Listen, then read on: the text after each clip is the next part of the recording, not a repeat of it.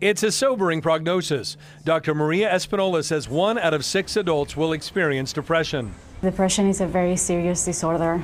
A disorder that Tim Askins and others think can be treated, at least in part, with marijuana.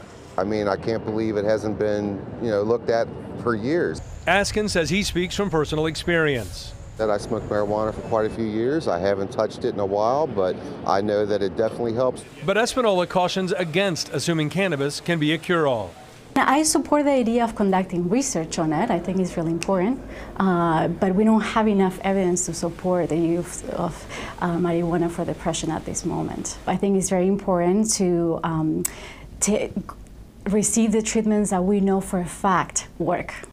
She says those treatments include therapy and medication or a combination of the two. Espinola knows members of Ohio's medical board are considering adding depression, along with insomnia, anxiety, opioid use, and autism, to the list of conditions that can be treated with cannabis. When it comes to depression, Espinola believes years of research are necessary to see if marijuana can be another option in a doctor's medicine bag.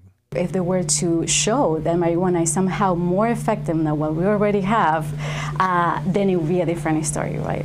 But we don't have that just yet. Now, tomorrow, an advisory committee in Columbus will vote on those five conditions that have been under consideration since January. If the committee recommends that at least one of those be approved, then there would be a final vote by the full board on June 12th.